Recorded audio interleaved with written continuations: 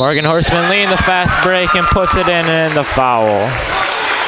Going to the line for one.